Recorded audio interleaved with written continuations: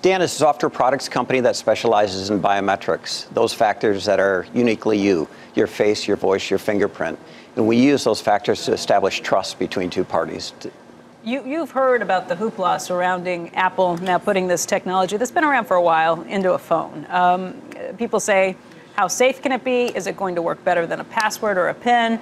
And what happens if uh, a bad guy comes up to me and wants my information? So he just takes the phone out of my hand, puts it in my face, and then they have access to it, whether that be the bad guy or the police. Uh, what are any of those concerns warranted? Well, I think it's important to be aware of all those concerns and have open discussions on them. But what we've seen with biometrics is consumers love them and they enhance their security. So if a consumer has a technology they don't like, they won't adopt it, and it defeats the purpose. So with this technology, it's proven.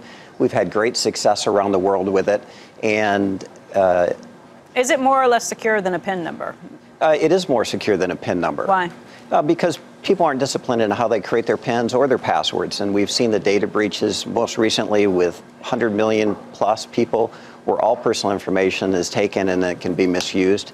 And so what we found, and even with Touch ID you mentioned, uh, it was invented or released in 2013, so it's been in the market for four years. It's rare to see an incident of fraud and abuse with Touch ID. We believe the same thing will happen with fingerprint.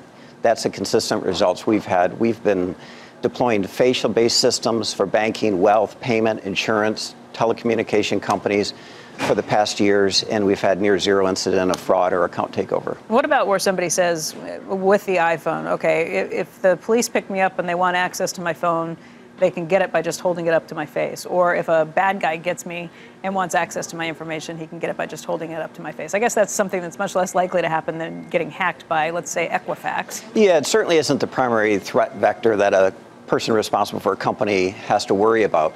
But it is an important thing, and what they've done, we believe, is include uh, liveness detection. So that mean?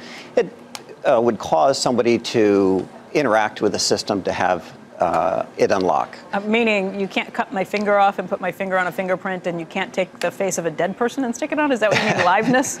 well, it's trying to make sure that you're not using a photograph or you're engaging with the system in some way purposefully to try and interact with it. But none of these systems are flawless. And so all of them, and you'll see it with Apple, they can be defeated. Somebody will do that.